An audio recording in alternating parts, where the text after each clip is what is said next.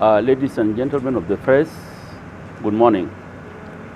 Today we have had a very fruitful meeting, meeting between the SPLM uh, called upon by the interim Secretary General, Comrade Peter Lam Both, in the membership of the SPLM members, and also with the three ambassadors from Troika countries the USA, the United Kingdom, and Norway. The meeting was specifically about the implementation of peace agreement, things where we need support and things that needed clarification. During the discussion, we have covered a lot of things and we agreed that we will be consulting with one another from time to time and that Troika is ready to help South Sudan uh, with the programs that are intended to build this nation.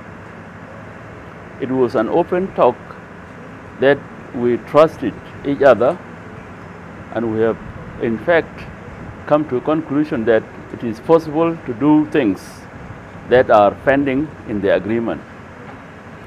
Uh, some of the challenges that were mentioned were pertaining to chapter 2 of the agreement, especially the forces and uh, that it is already something near to finishing because the posts are ready and they were decreed by the President of the Republic some two days back that they were going to be uh, graduated.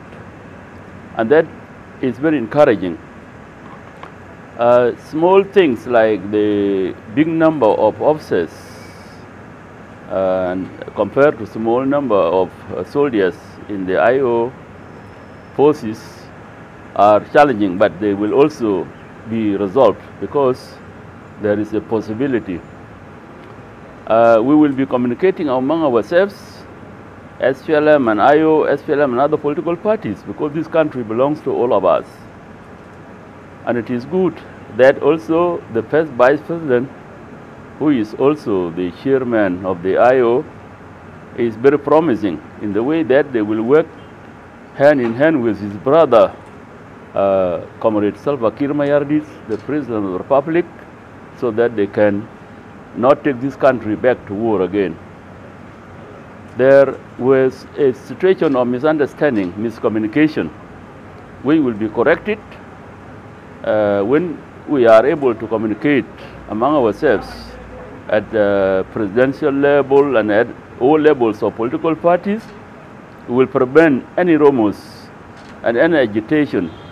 Any misunderstanding will be eliminated because communication will be emphasized and we are going to do that. So this meeting uh, with the ambassadors from Troika is a very great turning point because it is the first time that we sat together and we talked and we are encouraging them to tell us where we are going wrong. And also, if we have any observation, we can also tell them. So we really uh, appreciate this meeting because Troika ambassadors have worked hard to see that South Sudan becomes what it is, a nation, a free nation, a nation of all South Sudanese without exception.